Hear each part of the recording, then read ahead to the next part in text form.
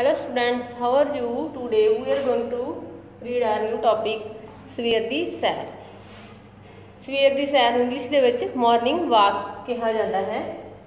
ਜਿਵੇਂ ਕਿ ਆਪਾਂ ਸਾਰੇ ਜਾਣਦੇ ਹੀ ਹਾਂ ਕਿ ਸਿਹਤ ਹੈ ਜੋ ਆਪਣੀ ਉਹ ਕੀ ਹੈ? ਕੁਦਰਤ ਦਾ ਅਨਮੋਲ ਤੋਹਫਾ ਹੈ।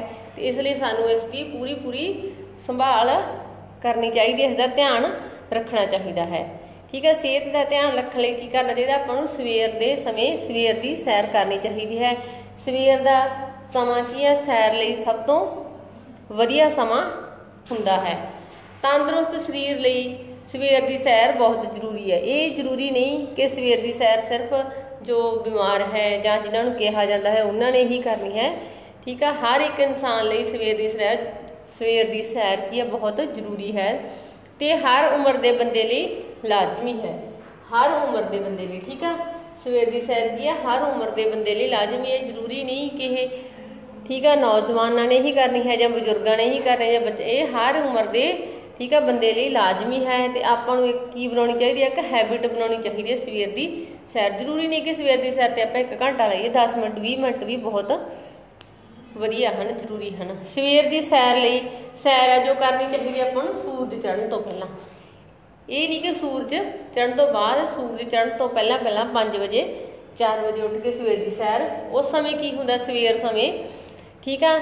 ਸਵੇਰ ਦੀ ਹਵਾ ਸਾਫ਼ ਹੁੰਦੀ ਆ, ਸ਼ੁੱਧ ਹੁੰਦੀ ਆ, ਕੋਈ ਪ੍ਰਦੂਸ਼ਣ ਨਹੀਂ ਹੁੰਦਾ। ਤੇ ਜੋ ਪ੍ਰਦੂਸ਼ਣ ਵਗੈਰਾ ਹੁੰਦਾ, ਉਹ ਰਾਤ ਨੂੰ ਕੀ ਹੋ ਜਾਂਦਾ? ਥੱਲੇ ਬੈਠ ਜਾਂਦਾ। ਤੇ ਬਹੁਤ ਸ਼ੁੱਧ, ਸਾਫ਼ ਤੇ ਤਾਜ਼ੀ ਹਵਾ ਆਪਾਂ ਨੂੰ ਮਿਲਦੀ ਹੈ। ਇਸ ਸਮੇਂ ਕੀ ਹੁੰਦਾ ਆਪਾਂ ਨੂੰ? ਸਵੇਰ ਵੇਲੇ ਜੋ ਪੰਛੀ ਉੱਠ ਖੜੇ ਹੁੰਦੇ ਆ ਬੇਟਾ, ਉਹਨਾਂ ਦੀ ਆਪਾਂ ਨੂੰ ਕੀ ਹੈ ਚਹਿਕ ਸੁਣਾਈ ਦਿੰਦੀ ਹੈ, ਜੋ ਕਿ ਆਪਾਂ ਨੂੰ ਬਹੁਤ ਚੰਗੀ ਲੱਗਦੀ ਹੈ। ਸਵੇਰ ਵੇਲੇ ਜੋ ਬੂਟੇ ਹਰੇ ਭਰੇ ਹੁੰਦੇ ਹਨ, ਫੁੱਲ ਖਿੜੇ ਹੁੰਦੇ ਹਨ, ਜੋ ਸਭ ਦੇ ਮਨ ਨੂੰ ਮੋਹ ਲੈਂਦੇ ਹਨ। ਤੇ ਸਵੇਰ ਦਾ ਵਾਤਾਵਰਨ ਸ਼ਾਂਤਮਈ ਹੁੰਦਾ ਹੈ। ਉਸ ਸਮੇਂ ਕੋਈ ਵੀ ਸ਼ੋਰ ਨਹੀਂ ਹੁੰਦਾ। ਕਿਸੇ ਵੀ ਕਿਸਮ ਦਾ ਕੋਈ ਆਵਾਜਾਈ ਦਾ, ਕੋਈ ਮੋਟਰਾਂ ਗੱਡੀਆਂ ਵੀ ਬਹੁਤ ਘੱਟ ਚੱਲਦੀਆਂ ਹਨ। ਚੱਲਦੀਆਂ ਹੀ ਨਹੀਂ ਅਸਲ ਦੇ ਵਿੱਚ ਕੋਈ ਇੱਕ ਅੱਧੀ ਕੋਈ ਜ਼ਰੂਰੀ ਕੰਮ ਵਾਲਾ ਹੁੰਦਾ। ਠੀਕ ਆ? ਉਸ ਤੋਂ ਬਿਨਾ ਸਵੇਰ ਦੀ ਸੈਰ ਜਦੋਂ ਆਪਾਂ ਕਰਨੀ ਆ, ਜ਼ਰੂਰੀ ਨਹੀਂ ਕਿ ਆਪਾਂ ਭੱਜ ਭੱਜ ਕੇ ਜਾਂ ਹੌਲੀ ਹੌਲੀ ਤੁਰ ਕੇ ਕਰਨੀ ਹੈ ਇਸ ਨੂੰ ਜਿਵੇਂ ਆਪਾਂ ਆਪਦੇ ਸਰੀਰ ਦੇ ਹਿਸਾਬ ਨਾਲ ਜੇਕਰ ਆਪਾਂ ਹੌਲੀ ਹੌਲੀ ਤੁਰ ਕੇ ਕਰਨਾ ਹੈ ਤਾਂ ਆਪਾਂ ਹੌਲੀ ਹੌਲੀ ਤੁਰ ਕੇ ਵੀ ਕਰ ਸਕਦੇ ਹਾਂ। ਤੇਜ਼ ਤੇਜ਼ ਤੁਰਨਾ ਤਾਂ ਆਪਾਂ ਤੇਜ਼ ਤੇਜ਼ ਤੁਰ ਕੇ ਵੀ ਕਰ ਸਕਦੇ ਹਾਂ। ਸਵੇਰ ਦੀ ਸੈਰ ਦਾ ਲਾਭ ਇਹ ਹੈ ਕਿ ਇਸ ਨਾਲ ਸਾਡੇ ਸਰੀਰ ਦੇ ਵਿੱਚ ਚੁਸਤੀ ਆਉਂਦੀ ਹੈ। ਆਪਾਂ ਐਕਟਿਵ ਹੋ ਜਾਂਦੇ ਹਾਂ ਸਵੇਰੇ ਸਵੇਰੇ। ਲੇਜੀਨੈਸ ਨਹੀਂ ਲੇਜੀ ਨਹੀਂ ਆਪਾਂ ਬੰਦੇ ਸੁਸਤ ਨਹੀਂ ਆਪਾਂ ਰਹਿੰਦੇ, ਆਪਾਂ ਐਕਟਿਵ ਹੋ ਜਾਂਦੇ ਹਾਂ। ਮਨੁੱਖੀ ਦਿਮਾਗ ਤੇ ਸਰੀਰ ਦੋਨਾਂ ਨੂੰ ਇਹ ਨਹੀਂ ਕਿ ਚੁਸਤੀ ਆਪਣੇ ਕੋਲੇ ਸਰੀਰ ਨੂੰ ਇਸ ਨਾਲ ਆਪਣਾ ਦਿਮਾਗ ਵੀ ਚੁਸਤ ਹੁੰਦਾ ਠੀਕ ਹੈ ਉਸ ਉਸਦੇ ਸਰੀਰ ਨੂੰ ਵੀ ਆਪਣੇ ਨੂੰ ਚੁਸਤੀ ਫੁਰਤੀ ਮਿਲਦੀ ਹੈ। ਦੋਨੇ ਮਨੁੱਖੀ ਸਰੀਰ ਤੇ ਦਿਮਾਗ ਦੋਨੇ ਤਰੋਤਾਜ਼ਾ ਹੋ ਜਾਂਦੇ ਹਨ। ਸਵੇਰ ਦੀ ਸੈਰ ਨਾਲ ਅੱਖਾਂ ਦੀ ਰੋਸ਼ਨੀ ਵੀ ਤੇਜ਼ ਹੁੰਦੀ ਹੈ।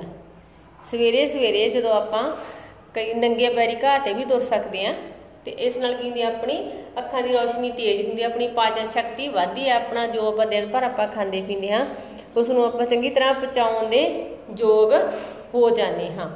ਇਸ ਲਈ ਜ਼ਰੂਰੀ ਹੈ ਕਿ ਸਾਨੂੰ ਸਾਰਿਆਂ ਨੂੰ ਸਵੇਰ ਦੀ ਸੈਰ ਕਰਨੀ ਚਾਹੀਦੀ ਹੈ। ਸਵੇਰ ਦੀ ਸੈਰ ਹਰ ਉਮਰ ਦੇ ਬੰਦੇ ਲਈ ਜ਼ਰੂਰੀ ਹੈ। ਸਵੇਰ ਦੀ ਸੈਰ ਸੂਰਜ ਚੜ੍ਹਨ ਤੋਂ ਪਹਿਲਾਂ ਹੀ ਕਰਨੀ ਚਾਹੀਦੀ ਹੈ ਤੇ ਇਸ ਨੂੰ ਆਪਣੇ ਰੋਜ਼ਾਨਾ ਜੀਵਨ ਦਾ ਇੱਕ ਆਪਾਂ ਨੂੰ ਹਿੱਸਾ ਬਣਾਉਣਾ ਹੈ। ਹਾਂਜੀ ਬੱਚਿਓ ਤੇ ਫਿਰ ਤੁਸੀਂ ਕੀ ਕਰਨਾ? ਅੱਜ ਤੋਂ ਹੀ ਸਵੇਰ ਦੀ ਸੈਰ ਸਟਾਰਟ ਕਰ ਦੇਣੀ ਹੈ। ਚਾਹੇ ਤੁਸੀਂ 15 ਮਿੰਟ ਲਈ ਜਾਣਾ 20 ਮਿੰਟ ਲਈ ਜਾਣਾ ਹੌਲੀ ਹੌਲੀ ਆਪਣਾ ਟਾਈਮ ਵਧਾਉਂਦੇ ਵੀ ਜਾਣਾ, ਤੇ ਇਸ ਨਾਲ ਕੀ ਹੋਊਗਾ? ਤੁਹਾਨੂੰ ਬਹੁਤ ਫਾਇਦਾ ਹੋਵੇਗਾ। ਓਕੇ ਬਾਏ ਬੇਟਾ।